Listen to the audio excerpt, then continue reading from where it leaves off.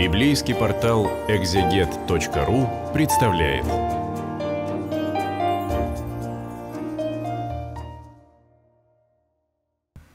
Мы с вами сегодня читаем 31 главу книги пророка Исаии для библейского портала «Экзегет». Я, Андрей Десницкий, предлагаю свой собственный перевод с небольшими комментариями. Я думаю, что всем уже немножко к этой 31 главе надоела эта внешняя политика. Почему Исаия так упорно рассказывает про Египет и Ассирию? Для нас с вами Египет — это страна, куда иногда ездят отдыхать летом, э, нет, летом лучше не ездить, зимой или осенью, э, и откуда иногда приходят какие-то новости, не самые радужные, как правило, Ассирия. Вообще что-то из древней истории, как правило, люди толком не знают, где она вообще была, но это примерно Северный Ирак, Восточная Турция сегодняшняя. Ну и какая разница, в конце концов, кто там кого победил? Мы давно живем в другом мире. Я думаю, что э, Исаи тоже, в общем-то, был все равно, кто кого победил, Египет, Ассирию или Ассирия, Египет. Ну, так получилось, что Израиль небольшой народ э, со своим государством, который живет между большими тогдашними державами. Кому интересно, представьте себе на месте Египта или Ассирии любые современные страны. Там США, Китай, какую-то еще страну, нашу собственную, в конце концов. Это не очень важно. А важно, что люди воспринимают окружающий мир как некое поле битвы держав.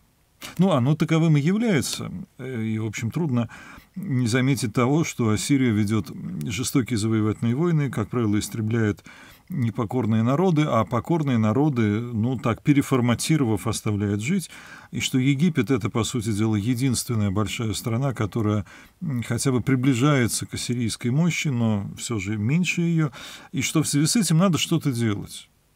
Ну и э, это такая периодическая ситуация, в которую попадает Израиль. С севера идет какая-то угроза, а Сирия одна из них, еще будет Вавилон. Потом с севера придут греки и македонцы, потом, ну, скорее с востока, но тоже через северные базы римляне, и э, Египет, он всегда там, Египет, он знаком, Египет э, — та страна, в которой израильтяне уже были, в которую они периодически убегают, при, часть из них при угрозе севера, и та страна, на которую хочется опереться. Вот, собственно, Исаия об этом и рассказывает. Кто хочет подложить сегодняшние реалии, геополитика сегодня такая модная область, э, ну, я бы сказал, знания, но, наверное, не только знания, а больше болтовни. Ну, подставьте свои страны, но Исаия объясняет, как с этим жить. Горе тем, кто идет за помощью в Египет, а вы подставляете страну, если хотите. На конницу надеяться и на колесничное войско, ведь оно так велико, и на всадников, которых так много. Но на святыню Израиля не посмотрят, Господа не ищут. Вот, собственно, его основной мотив, и, наверное, он так упорно об этом говорит, потому что ну, как и сегодня, как, наверное, и всегда, ему-то все рассказывают про геополитику, какие там расклады, как там ассирийцы на кого напали, как там Египет кого-то обещал защитить. Но э, приходится снова и снова это объяснять. Горе тем, кто на святыню Израиля не посмотрит, Господа не ищет. Ведь он мудр, он бедствие наведет и слов своих не отменит, обратиться против дома нечестивых, против помощи злодеев. Вот здесь хочется внести коррективы, правда? Он мудр, милосерден, он нам поможет, мы его народ, мы его дети, нам он все даст, а других он накажет. Ничего подобного. Обратиться против дома нечестивых, против помощи злодеев. Вновь и вновь э, Исаи, может быть, этим он и знаменит, может быть, в первую очередь, может быть, именно это и навлекло на него такое неприятие современников. Он не говорит «мы круты, а все остальные мерзавцы», он говорит Господь покарает нечестивцев, если это мы с вами, значит нас с вами, если это Ассирия, значит Ассирию, и установит свое царство. Вопрос в том, где мы окажемся при этом. А это зависит не от геополитики, это зависит от того, в каких отношениях мы с Богом и как мы живем, собственно, и все. Итак, обратиться против дома нечестивых, против помощи злодеев. Это уже может быть намек на возможную помощь Египта, что даже если она придет, э, Господь ее не одобрит. Египтяне — люди, а не Бог. Их лошади — животные, а не дух. Стоит Господу протянуть руку, и кто помогал, тот споткнется, а кому помогали, тот падет, оба сгинут разом. Ну, собственно говоря, тут уже даже комментировать нечего, да, то есть человеческие расчеты и воля Божья — это разные уровни. Вот что сказал мне Господь. Как лев, как львенок кричит над добычей, и пусть много пастухов вокруг соберется, но от их криков не дрогнет, от их толпы не оробеет. Так и Господь воинств выйдет сражаться на горе Сионской, на ее высотах. А, ну, мы представляем себе львов, наверное, только в зоопарке. Тогда они все-таки водились на Ближнем Востоке. Может быть, не каждый имел личный опыт встречи со львом. Ну, понятно, что э, если лев э, добыл себе какое-то животное, он его не отдаст, пока сам не насытится. Там хоть толпа вокруг него соберись и кричи. И э, Господь изображается сначала грозным воином, таким львом, который ревет над добычей и никому ее не уступает – как наседка птенцов, так Господь воинств укроет Иерусалим, избавит, пощадит, оградит, оградит, защитит. Обратитесь к тому, кому вы противились так упорно, сыны Израиля. А здесь, наконец, в качестве какого-то чуть ли не примечания, то, что они хотели бы услышать, что да, все-таки Господь защитит. Но только после того, как сказано, что уничтожит нечестивых и что его волю не отменить.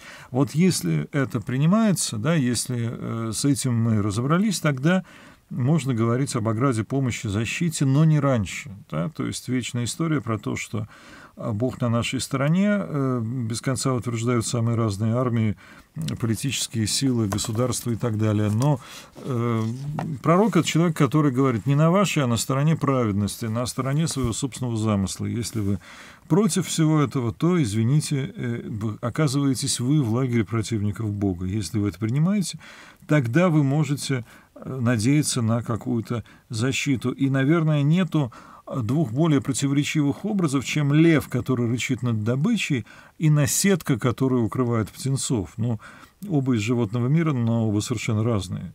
И, оказывается, Господь то и другое. Вот э, сегодня богословы рассуждают о разных свойствах Бога, о том, что Он милосерден и справедлив.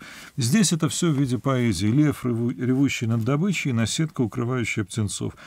Через запятую это одно и другое описание Бога.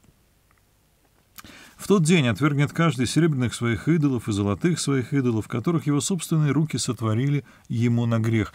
Бесконечно об идолах, но я думаю, что здесь не только идолы, как серебряные и золотые статуэтки, которым поклонялись, но одновременно и как э, ну, некие ценности, идеи, которые коренятся в этом мире, в конце концов, помощь Египта, надежда на э, военный и политический союз с ним, это тоже в конечном счете может стать идолом, это может быть инструментом э, или таким практическим действием, но может стать неким э, идеалом, а иначе говоря, идолом, на который возлагаются абсолютно все надежды.